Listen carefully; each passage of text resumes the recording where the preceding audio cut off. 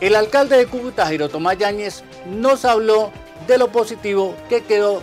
de esta audiencia pública de reforma a la salud que fue como epicentro norte de Santander. Aquí tenemos a la primera autoridad de los cucuteños.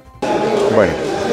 es un gran compromiso siempre participar en los debates públicos en todas las áreas de la vida de la ciudad, de la región y del país. Hoy, con ocasión de la visita de la señora ministra de Salud, sin duda el aporte de la frontera y en mi condición de alcalde fue el de manifestar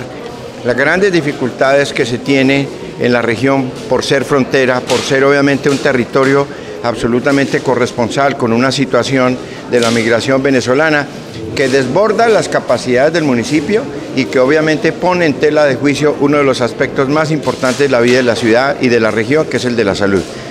Llamar la atención en la nueva reforma de salud para que en forma diferencial la zona de frontera, el territorio fronterizo, tenga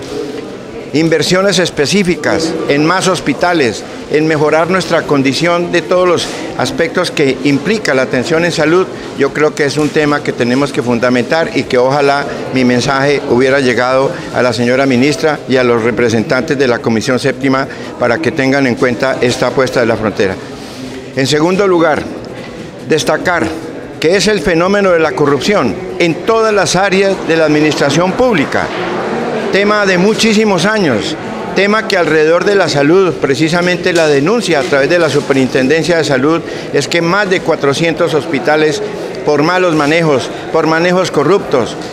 de tantos funcionarios que todavía están incrustados e incluso también la manifestación pública que hizo el alcalde de Cúcuta ante las mafias de las EPS y de todas las entidades que manejan los ingentes recursos que provenemos todos los colombianos para tener una oportuna atención en salud.